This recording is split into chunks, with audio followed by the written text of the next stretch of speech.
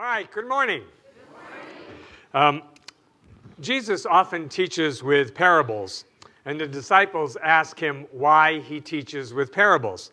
And he says, Because it's given you to know the mysteries of the kingdom of heaven, but to them it is not given. And so he goes on and he says, For whoever hath, to him shall be given, and he shall have more abundance. Wow. But whoever hath not, from him shall be taken away even that that he hath. So people, uh, parables, it seems to me, were really an, an Oriental practice.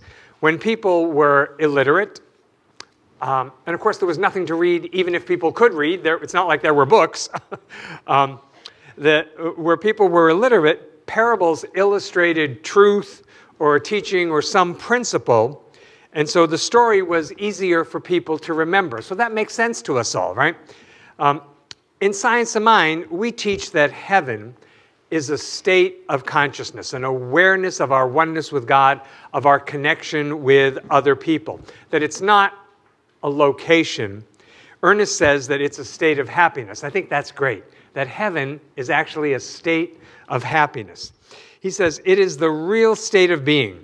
We don't make it real, for it is an eternal reality. So heaven always exists. That place of knowing our connection with God, our connection with other people, that always, always exists. He says, if we abide in the Father and He in us in harmony and power and peace and wisdom, and our thought is friendly, happy, confident, and open, our kingdom of heaven is a good place to live. So, what Ernest is saying to us is that, you know what, if your mind is in the right place, it's good to be you. It's good to be in your body, in your life, in your affairs, if things are going well in here. Right? But let's be really clear. If things are not going well at here, you ain't going to find any heaven out here. It just isn't going to happen. That's not the way it works. Remember, he says it's a state of happiness. Now, Ernest, um, he goes on and he says uh, that the kingdom of God is the consciousness of God. If we think of the thoughts of God, if we think the thoughts of God, we shall have a never a, a, newer diviner life in our body and in our affairs. We shall have entered the kingdom. So the thing is, there is a distinction that I'm seeing now between what was referred to as the kingdom of heaven and what's referred to as the kingdom of God. And Jesus refers to both, but he doesn't necessarily mean the same thing. And I think we have thought they were just the same. We just sort of grouped them together. Right? So, where, so what I get to ask myself is where am I thinking something that God is not thinking? Because that will surely keep me out of a kingdom kind of consciousness. When I entertain thoughts, so, you know, if I think thoughts about other people or situations in the world or my neighbor or coworker or whatever that are not what God's thinking, what's God thinking? God looks at all of us and God loves each and every one of us because we are all emanations of the Most High God. And we say, God doesn't make any junk. Right? So it is your Father's good pleasure to give you the kingdom. It, now, that sounds great, but you know what? It is also our privilege to be able to accept it. And I find that people have a hard time with the accepting part. That we all like to be the giver. We all like to be on that end of the stick, but to be the accepting, wow, that's a lot harder for people. But before we can even do that, first we have to seek the kingdom. And what I think this means right now, today, if you ask me next week, I'll probably have something else. But where I, where I sit with this today, how I interpret this today is all right, to seek first the kingdom means I'm not going to rely on externals. I'm not going to rely on um, people outside of me. I'm not going to rely on things like a job. This, you know, um, if I say, well, this doesn't fit my picture, um, am I seeking the kingdom first? And what that kingdom is, is always a connection with the something greater. So it's um, not, an, uh, not an experience you can have in life. Uh, I think there's not an experience that we can have in life. There's nothing that we can go through that there isn't something in the great uh, tomb of spiritual literature, you know, the Bible and other things that addresses that. You know, if you, um, uh, and I believe how this works is that if you love something, um, it will eventually reveal its secrets to you. So I've had um, in the past a kind of dicey relationship with the Bible. Uh, because I didn't uh, understand. I didn't, uh, and because I didn't understand, I didn't go into it. And so because I didn't go into it, I didn't understand anymore. It was just a vicious cycle of my own ignorance, you know. And then I decided at some point that other people I had heard talk about the Bible, they were telling me what they thought, what they believed, and that might actually be their truth, but it wasn't necessarily my truth. You know, because I think the Bible is one of those things that it's really up for interpretation. You know, and so people bring something of their own consciousness to the interpretation. In Ernest Holmes' statement, What I Believe, he writes that the kingdom of heaven is within humankind. You know, but it has to be recognized. And he says this recognition of the kingdom of heaven within us is actually a mental act. Jesus said the kingdom of heaven is within you. So we've also heard that the kingdom of God is within you. Now, they're different. I think today they're different. So when he talks about the kingdom of heaven, he usually talks about good mixed with evil in some form or another. And he says things uh, within the parables that indicate that the kingdom of heaven is not the ultimate state of perfection. Yeah. And at one point in the Sermon on the Mount, Jesus said, The kingdom of heaven shall pass away. Now, I have probably read that, I couldn't tell you how many times. And when I read it this time, that like jumped out and hit me in the face. It's like, oh my God, the kingdom of heaven's going to pass away. What does that mean?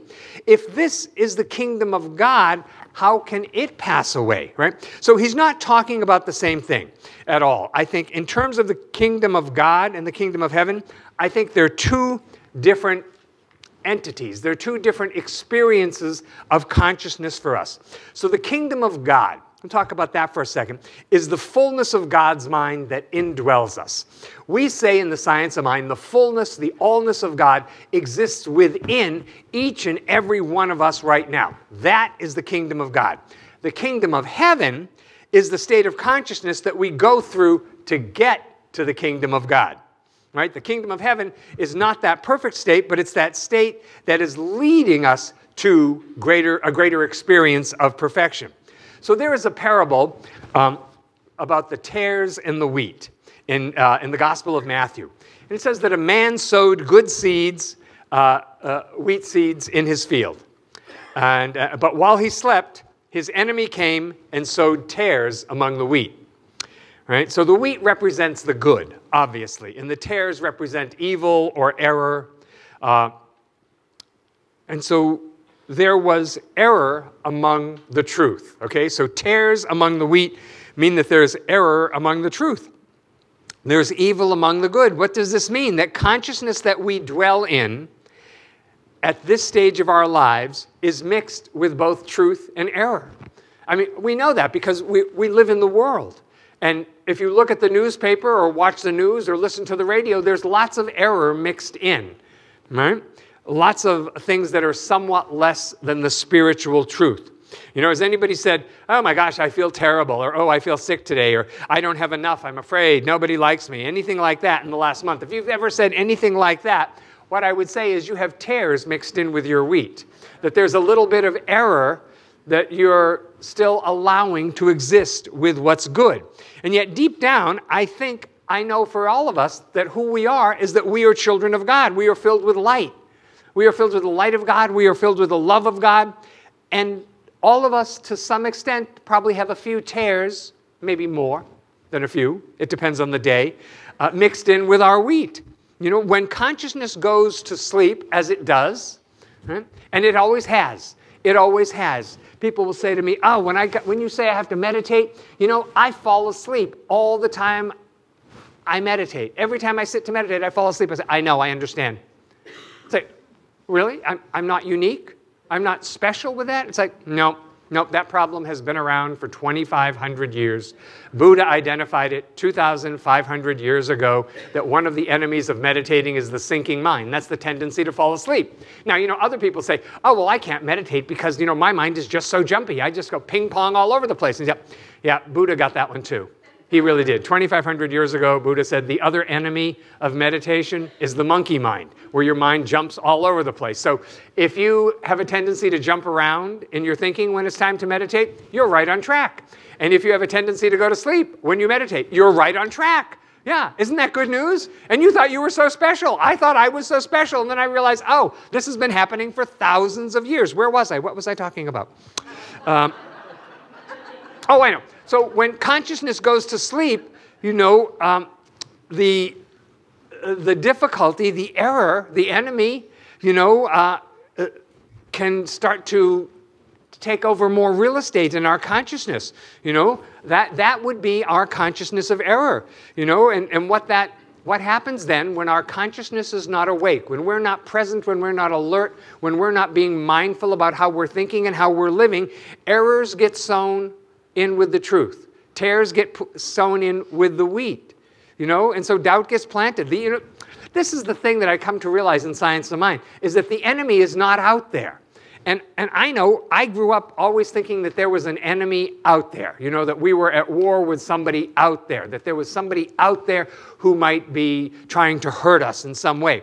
Science of Mind says the enemy is not out there, it's in here, which is actually the worst place it could be, right? It's your mind used against you. You know, we all know, there's not a person in this room who doesn't know that your thought is powerful. Because, why is your thought powerful? Because your thought is a creative activity, right?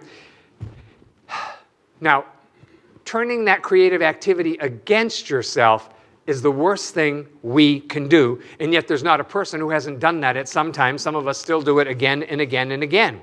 So, Jesus then shows us how to separate the tares from the wheat. He says, You put the tares on the fire. From, right? You separate them from the wheat and you burn the tares. So, you put the tares on the fire and you burn them up. And the wheat, well, the good, that's what you want to store up. You want to build a mental household, you know, a body of consciousness that's on the affirmative side of life. Now, fire is a symbol of purification. We all understand that. So we have to purify, excuse me, we have to purify whatever the error is in our consciousness. You know, it's not about fighting it. You know, that, that, that, if we fight it, then, well, that's probably the best we know at the time. But I have both uh, the misunderstanding and the understanding of the things of God. We all do. There is a part of us that understands and a part of us that doesn't maybe want to make the effort on any given day to understand something deeper. But I believe we have both. We have both of those, the misunderstanding and the understanding. So I get rid of the misunderstandings, right? I get rid of the tares, I get rid of the errors, I get rid of the false beliefs, I get rid of that, that very personal thinking that I have that does not support me in being more of my best self. You know, that thinking where I'm talking myself down, that thinking where I don't believe in myself, right? That's got to go. That's what has to be purified from all of us. You know, because that because what that does is that puts us in a state of movement upward, you know, where we're actually moving toward the kingdom of God. You know, when all the tares are gone and mind has been wholly purified, then you have achieved the consciousness of the kingdom of God. So I can only imagine this because I'm surely not there yet. I don't even think I'm close. I'm probably not even in the right neighborhood. Uh, because just because I realize I have a lot, I have a long ways to go. That my the tares, the error beliefs, are not completely eradicated from my thinking, and I work on it all the time. Now I can say that it's better than it used to be, right? So there is progress, and that I think is a good thing, and that's encouragement for all of us. I hope. You know? But when all the tares are gone and our mind has been wholly purified, then we, are, we have achieved the consciousness of the kingdom of God. So I think we still have to be concerned about um, this heavenly state of mind. You know, that's the mind that is in a state of growth and expansion toward the kingdom of God. You know, it's like we're always practicing.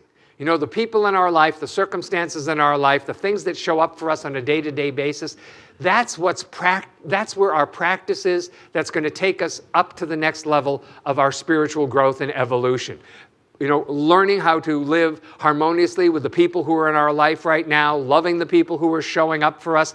That's how we move to the next state of consciousness. It's not like, you know, God, if I could just get past this stuff, then I could get to the really good stuff. It's like, no, no, no. This stuff that we have in our life right now is the way to the really, really good stuff. I think we still have to be concerned. We still have to be concerned about maintaining a heavenly state of consciousness. And I know we can all do it. I know we have all experienced it thus far.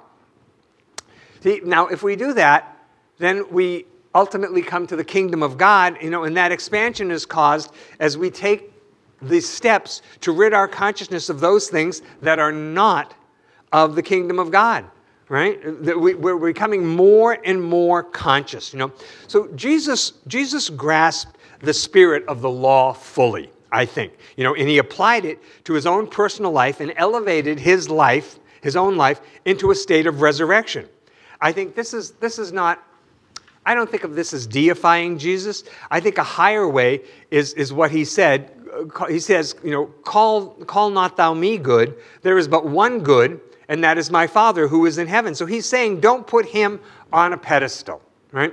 So, and this is one of the things that I loved about New Thought that really made sense to me. That the founders of New Thought saw in Jesus something different than other teachings had found. The founders of the early founders of New Thought saw Jesus as the great example of what we might become. That he was not the exception. See, up until the founding of New Thought, people really thought that Jesus had it going on. He was special. He had something you don't have. You're never going to measure up. Don't even try. Well, that was really encouraging, wasn't it? You know, I mean, it's like, wow, I, no wonder uh, people didn't feel good, you know, but but what New Thought said is no, Jesus is showing us. He is the living demonstration of what we may become. That we might be unconditionally loving like Him. We might become unconditionally giving like Him. We might be of great service to humanity like Him. So I think that's really, really exciting. You know, we don't have to put Him on a pedestal. It's just to recognize, wow, He's always showing us, like, it's like He's a few steps further down the path than we are. You know? And so it's, it's, um, if somebody has achieved what you want to achieve, you admire them for it. You know? I think, um, so when you see um, Jesus' words, you know, you ask yourself, is this Jesus the man speaking, or is it um, Christ, the Spirit of God in man speaking? I've, I've come to realize that I used to think that Jesus just talked. And then I realized at some point no, he's, he's speaking to different people in different ways. So when Jesus gives the Sermon on the Mount, you know, he's talking to a mass of people, thousands of people. So he's speaking to people in a very, I believe, introductory way into the path of consciousness. Now, then he'll be with the disciples, say his, his 12 close friends, and he'll give them a different teaching because their understanding is greater. This is why, you know, he says he does the parables with the big group of people, but to them, he uses some other things. And then, on a step higher than that, is that Jesus is very close to some people. So, uh, Peter, James, and John are the three disciples who are with him the most uh, for very important things. So, like at the Transfiguration on the Mount, and when he's in the Garden of Gethsemane, and the healing of Jairus' daughter, those three are with them.